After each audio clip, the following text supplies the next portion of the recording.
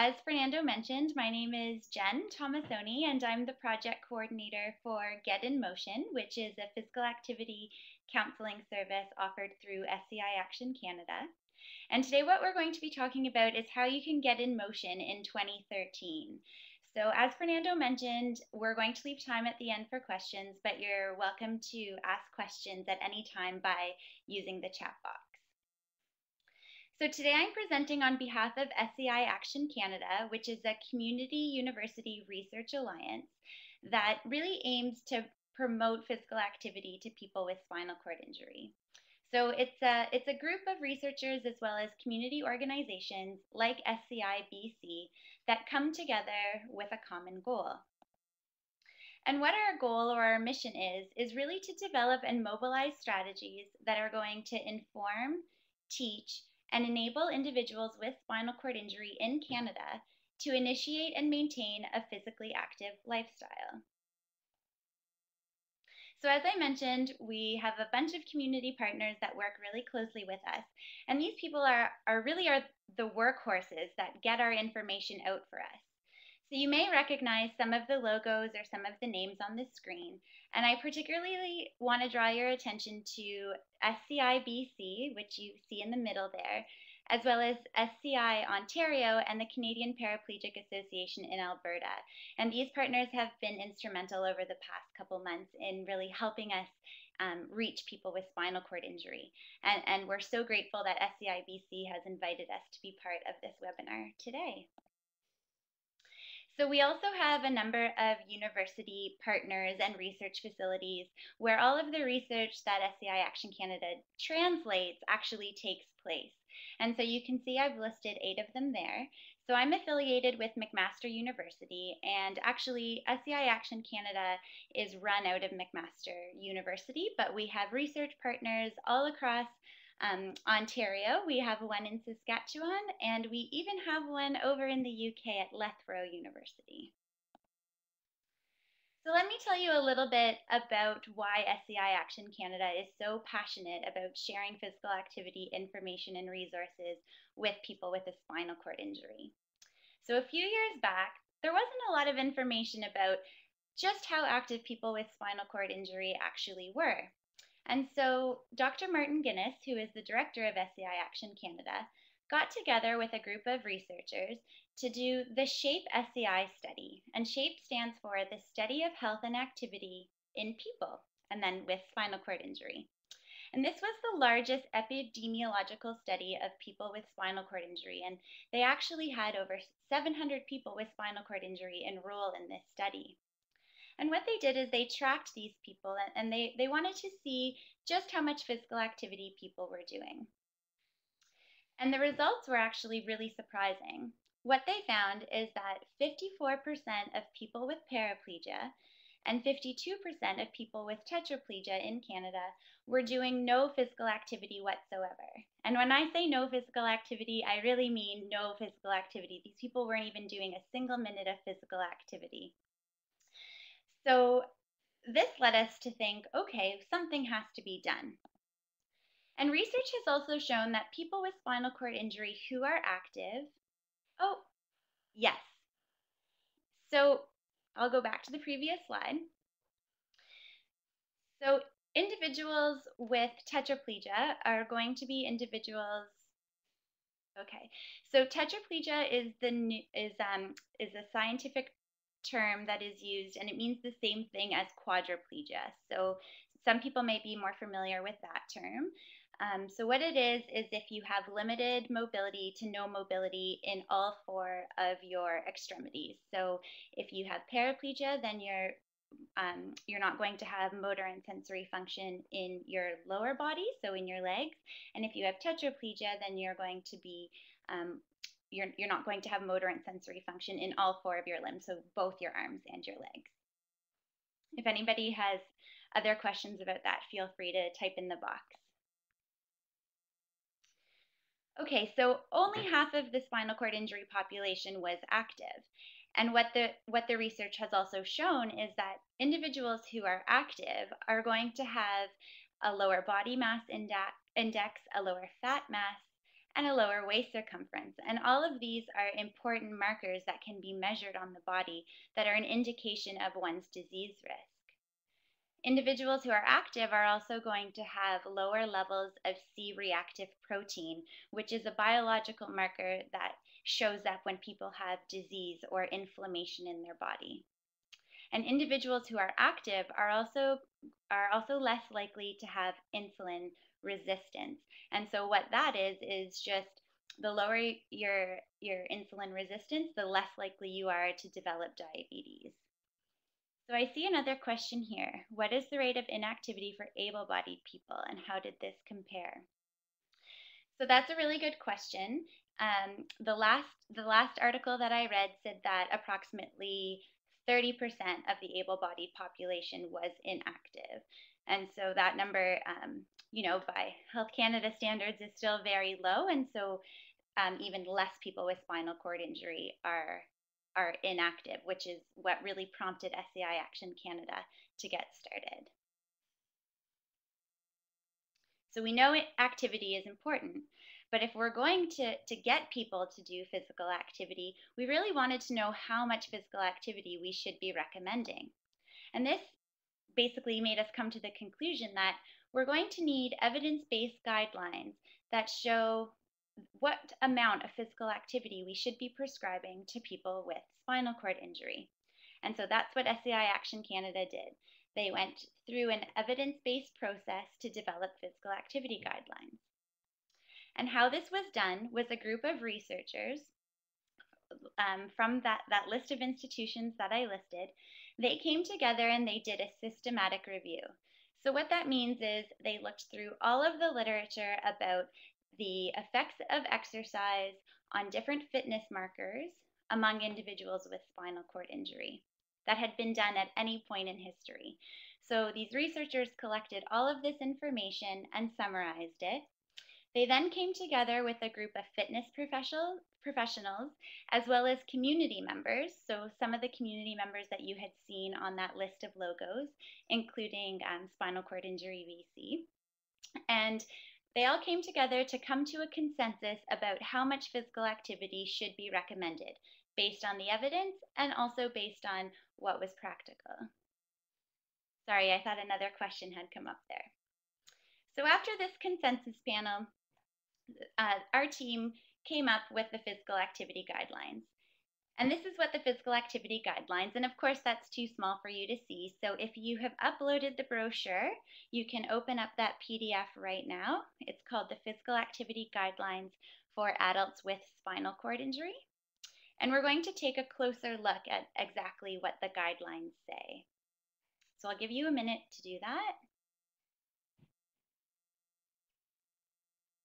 Okay, so you'll see that on the um, on the left hand side is a preamble, and on the right hand side are the actual recommendations. So let's actually go through both sections, starting with that preamble. Okay, so the preamble says that these guidelines are appropriate for all healthy adults with a chronic spinal cord injury. So, really, what that means is that regardless of whether your spinal cord injury came about as a result of a traumatic or non traumatic incident, whether you have paraplegia or tetraplegia, or you know whether you're male female it doesn't matter. Whoever you are if you have a spinal cord injury these guidelines are appropriate for you. The next line in the preamble says the guidelines should be achieved above and beyond the incidental physical activity that we accumulate in the course of our structured rehabilitation, or our daily living. And so, incidental physical activity is really anything that we do in our lives that is done out of necessity. So, for example, your physiotherapist or your occupational therapist may have asked you to do some exercises to increase your range of motion. Those type of exercises uh, don't count towards the guidelines because those are things that you have to do for your rehabilitation. There are also activities that you may do for daily living, like getting dressed or, or cooking at a stove.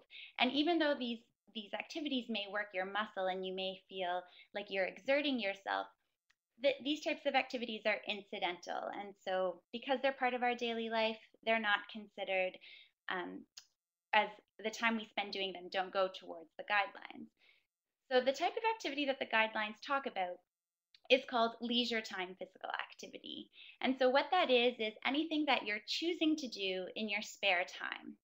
So, if you're ever in doubt about whether or not an activity it, it, counts towards the guidelines or counts as leisure time physical activity, you really want to ask yourself Am I choosing to do this? And is it in my spare time? And if the answer to that, to both of those questions is yes, then definitely counts towards the guidelines. And so examples of leisure time physical activity can be playing a sport, going for a wheel, or doing structured exercise, such as as, as going for a, um, uh, say like an arm ergometry session, a fitness class, or even doing some strength training. And we'll talk more specifically about the different types of activities that you can do. And so, lastly, in the preamble, it says for those who are physically inactive, even if you do some of the physical activity that's recommended, maybe you're not achieving quite what the guidelines say, but some physical activity will may bring some fitness benefit. So if you're the type of person who hasn't been active in a while and you look at the guidelines and it seems really intimidating to you, rest assured that you can build up to that amount of physical activity slowly and that a small amount of physical activity really can go a long way towards achieving some fitness benefits. So now that we've covered the preamble, let's take a closer look at the right-hand side of the screen where you see that chart. And that chart is actually where it lists the recommendations for how much physical activity should be done on a weekly basis. And so there are recommendations for both strength training activity as well as aerobic training activity. Let's start off by looking at the strength training recommendations. So the physical activity guidelines say that strength training activities should be done twice per week. And preferably, these should not be on consecutive days. You, you really want to give your muscles a rest. Uh, so you want a day in between at least to, to let them recuperate and gain all the benefits of your strength training sessions. The guidelines recommend that you gradually work up to doing three sets of 8 to 10 repetitions of each exercise for each major muscle group. So, a major muscle group would be something like your shoulder muscles, or the fronts of your arms, or the backs of your arms. Those are just three examples of major muscle groups.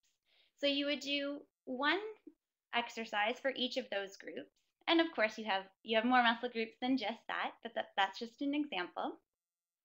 And when we say 8 to 10 repetitions, what we mean by one repetition is going through the complete motion of the exercise. So say, for example, we were going to do a chest press. The chest press motion starts at your chest, extends forward, and comes back to your chest. So that would count as one repetition because it's going through the exercise once. Once you've gone through the range of motion eight to 10 times, that counts as one set. So you would do three sets of eight to 10 reps of each exercise for each major muscle group. So now in terms of how hard you should be working, you should definitely be using a resistance that's difficult enough that you can barely lift it, but it is important to think of safety. So you really want to make sure you can barely lift it, but safely finish eight to 10 repetitions. And this is where you would have to play with your weights a bit until you learn what's comfortable for you. And lastly, how you can achieve this? Well, there's a variety of ways. You can use free weights. Elastic resistance bands are great. Um, sometimes these are called TheraBands, and um, these are great because you can attach them to a doorknob. You can um, attach them to a stable structure in your home, to a table or a chair, and make use of them anywhere.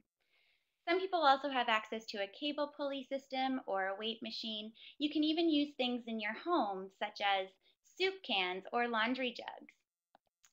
And so SCI Action Canada really wanted to take advantage of the fact that, that people often overlook the opportunity to, to do strength training in their home. And so what we did was we came up with something called the Active Homes Strength Training Manuals. And Fernando uploaded the files for you in, in the box below. And you'll notice that there is a strength training guide for people with paraplegia. And there's a separate one for people with, with tetraplegia. And if for some reason you can't upload these PDFs, you are able at any time to go to the SCI Action Canada website and click on the Active Homes tab, and you'll be able to download these straight from our website. So let's talk a little bit more about these Active Homes manuals. The manuals walk individuals through a series of exercises that work each major muscle group in the body. So for example, I mentioned that, that um, one of the major muscle groups can be the chest. And so an exercise to work the chest is the chest press. And you'll see that the, the manual gives um, an anatomy drawing of, of what muscle is being worked, as well as some color photographs of a peer doing the exercises. And there, um, there's also a step-by-step -step listing under each exercise about all the steps you need to follow.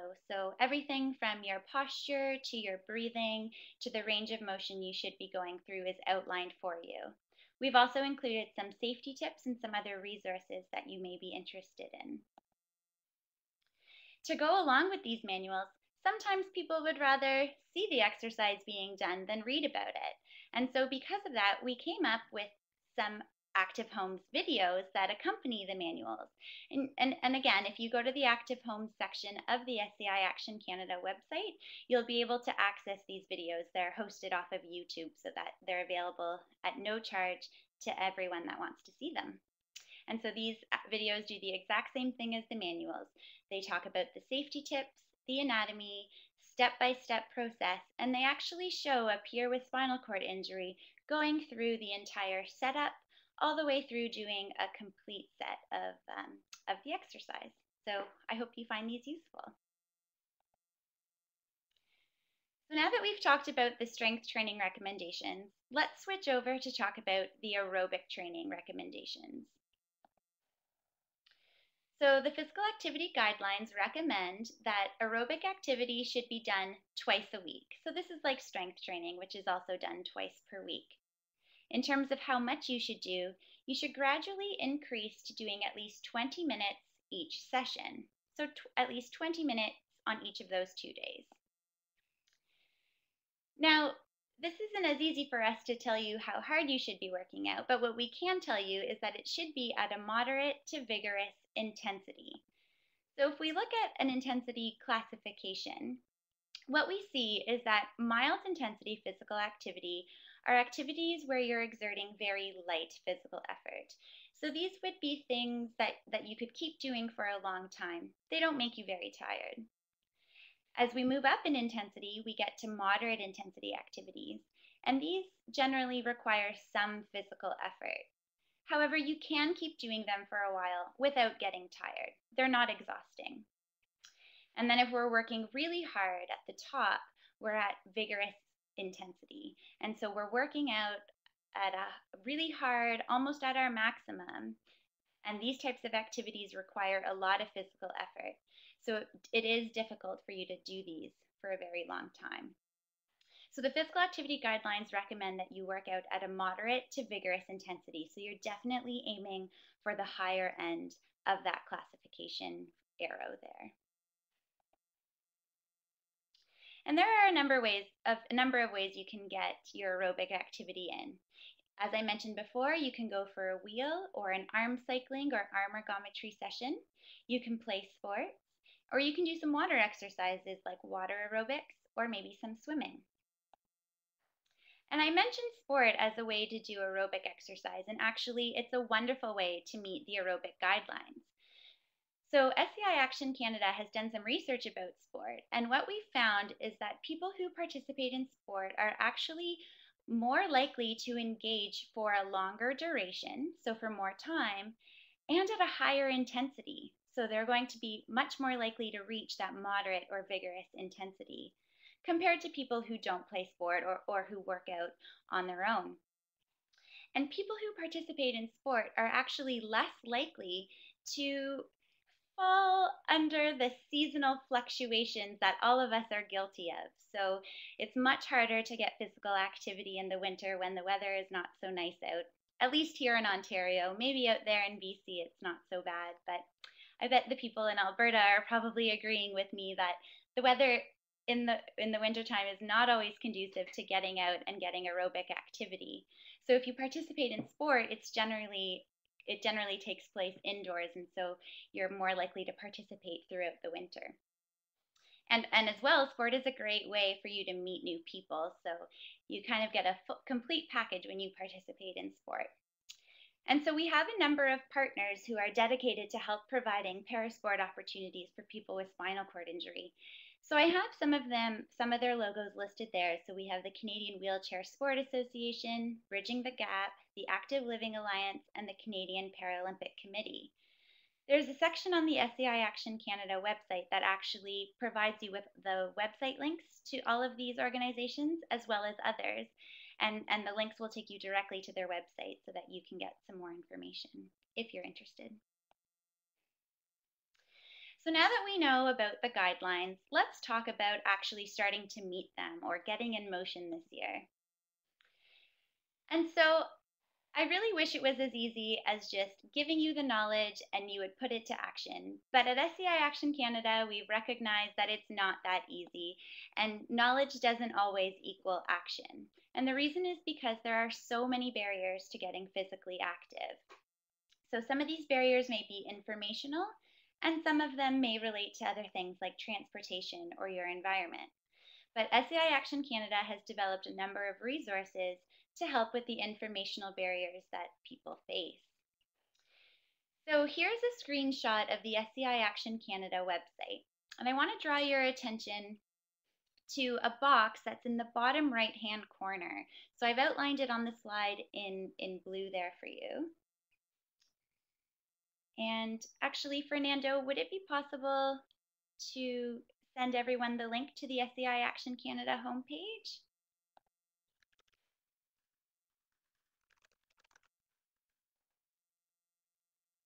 I think if you click that, you click that. Uh, that's that that particular one's a little bit difficult to do uh, via the webinar. Oh, there you go. Okay. That's I was just going to suggest that on the chat box there is about the only place um, okay. But that's yeah, that's a good start. And the other thing too is that we will be able to put also a link to SCI Action Canada on our website here. Um, and it's actually up there already in a couple different places. Yeah, because it's actually on the database. Um, but we'll work on on that part afterwards also. Great. Just in case people wanted to uh, to check it out as I outline all of the resources. Okay, so as I mentioned, the bottom right-hand corner, there's going to be a listing that has several different tabs. And if I, if I make that larger for you, what you'll see is that there are a number of free physical activity resources that everybody can download if they're interested. And so we've already talked about the physical activity guidelines, and Fernando has provided you with the PDF file.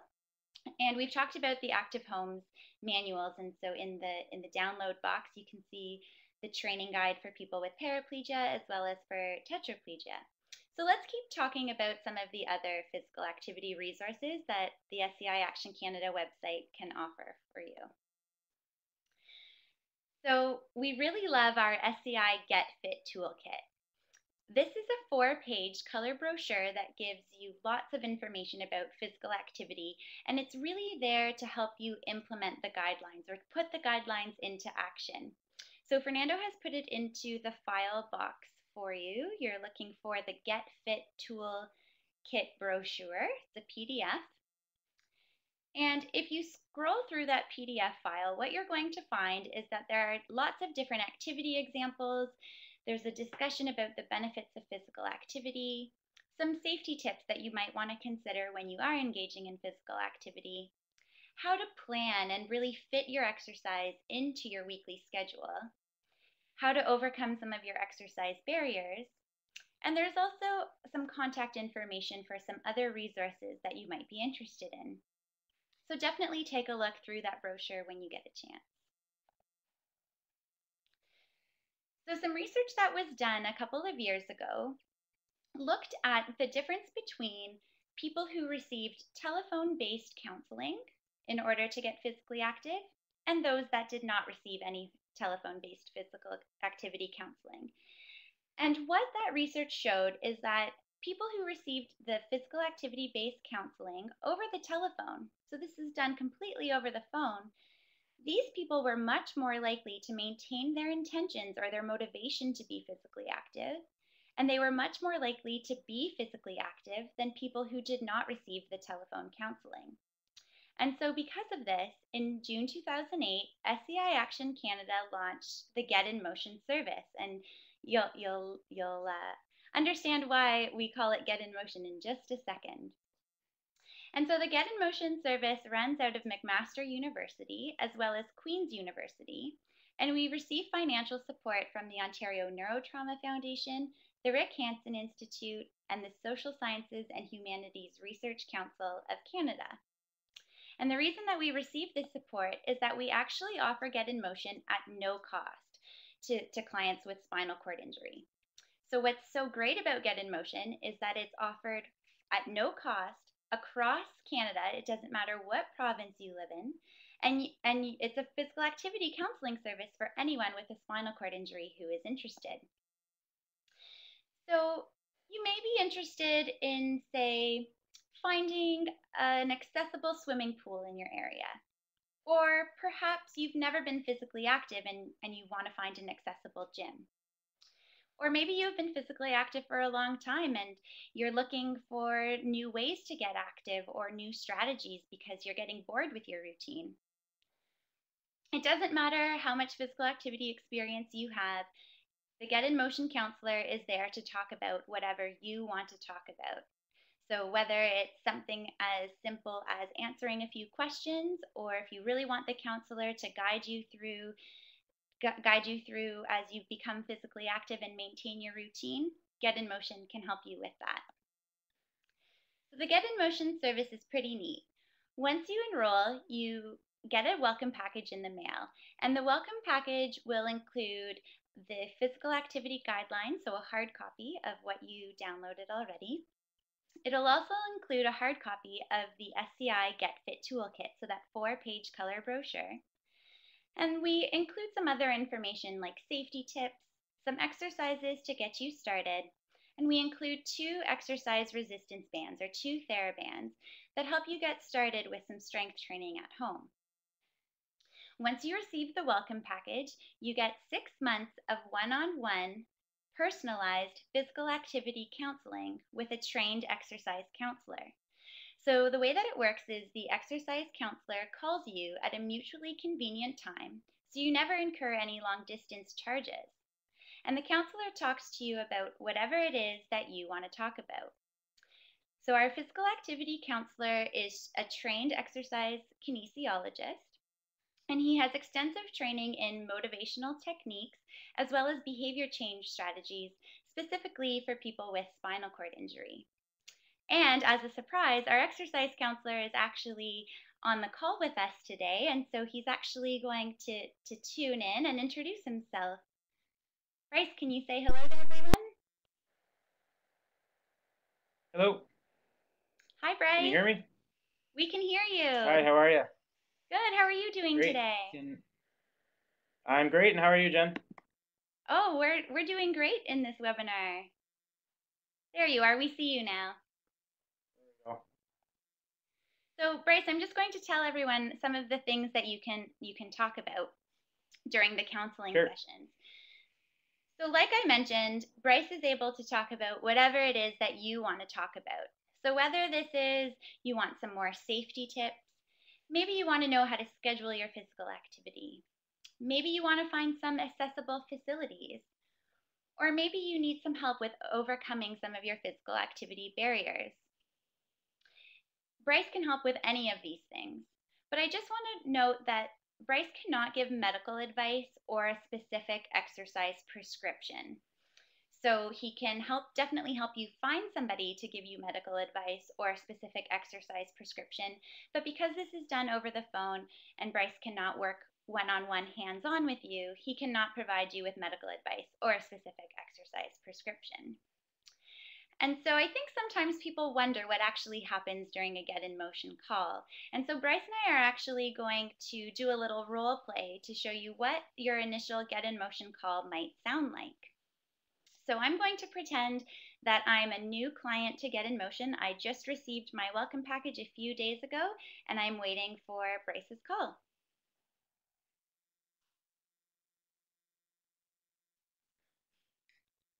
Hello? Oh, Hello? hi, Jen. Uh, oh, hello. Hi, I'm here. Hi, Jen. How are you? Oh, I'm fine. Who is this? Sorry, this is the, uh, I'm uh, Bryce calling from uh, the Get in Motion program, and uh, the Get in Motion office mentioned that this would be a good time for you to uh, to meet. Is this a good time for you? Yes, actually, I was expecting your call. Thank you. Great. Um, just to get things started, I was just wondering if you received our Get in Motion welcome package. I did, and I and I was happy to see that I got two TheraBands in there. I was only expecting one.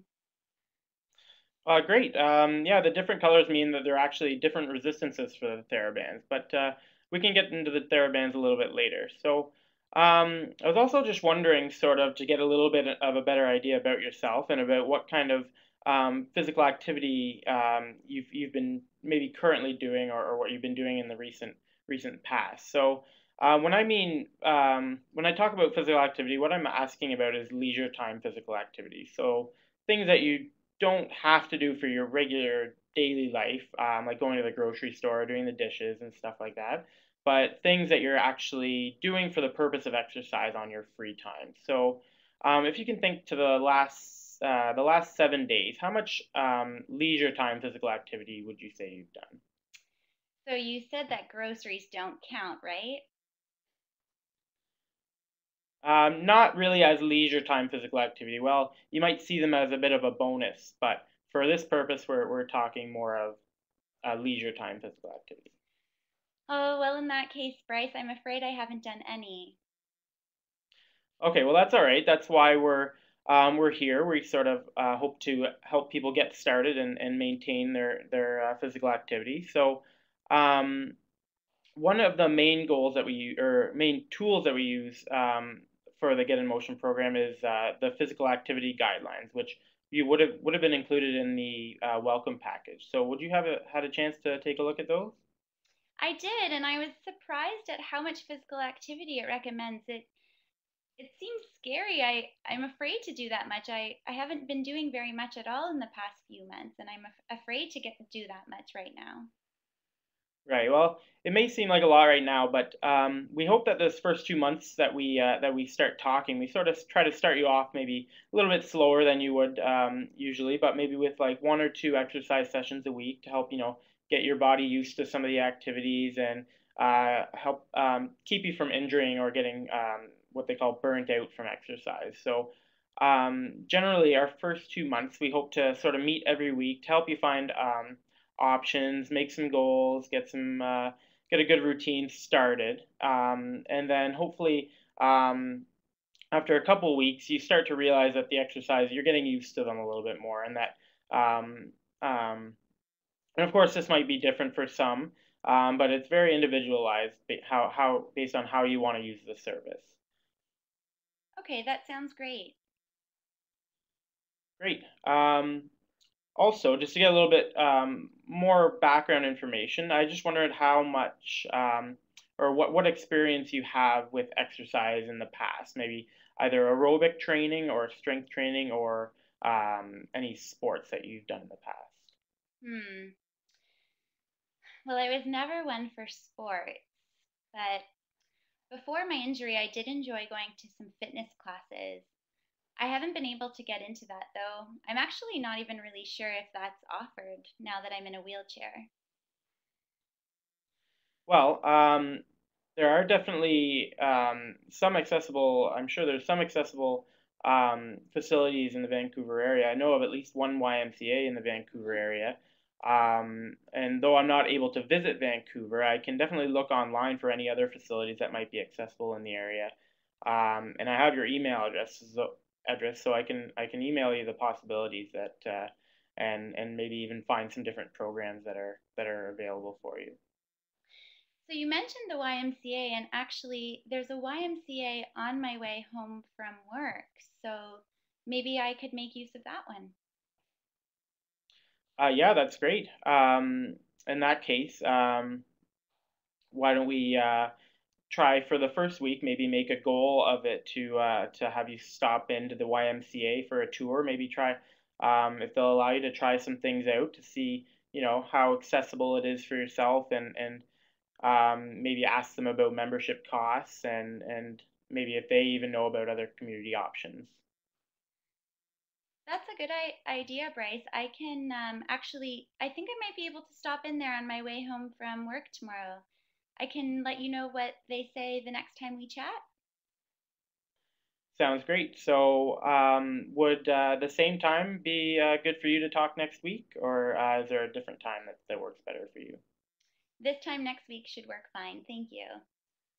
Sounds great. And we can talk about what you uh, were able to try at the Y, and we can uh, maybe see what else we were able to find in the, in the area. Thank you, Bryce. Sounds great. See you later, Jen. Bye bye. So I see a comment in the chat box there that says you can also contact SCI BC info line for details on accessible fitness facilities in BC. Yes, we're we're um, becoming increasingly aware of all of the wonderful information that SCI BC has on their info line, and we have a link to it on our SCI Action Canada homepage.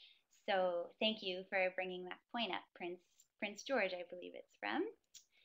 Okay, so that was a just an example of what your first counseling session might sound like. Let's move down the road. Let's pretend I've been having counseling now for about 2 months and I've and I've established a bit of a routine. So this is what a follow-up call might sound like.